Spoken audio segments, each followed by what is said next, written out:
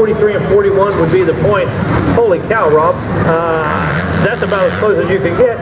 And all it takes is one of these riders moving a different position, and that can change the order in which it's 44, 43, and 41. Yeah, it certainly can right now, and uh, Colt Nichols is really putting on a fine ride. Gets to the top of the hill, stretches it out a little bit.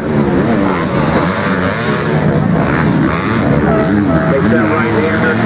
Down and see watching it all play out. I'm sure his team's going. Right now, if you're going to pick up yet another overall this year.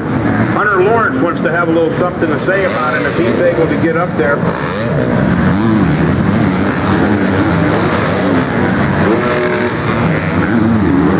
right now, 21 minutes to go. Look at Miller go to the outside. Colt Nichols gets that Yamaha pointed downhill.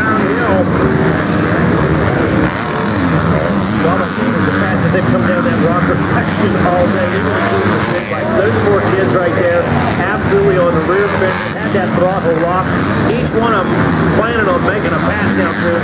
Not able to make that happen. The D-speed four setting them on fire right now, Rob.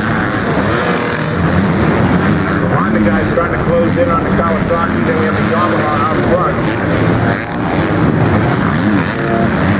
Big air, the touchdown.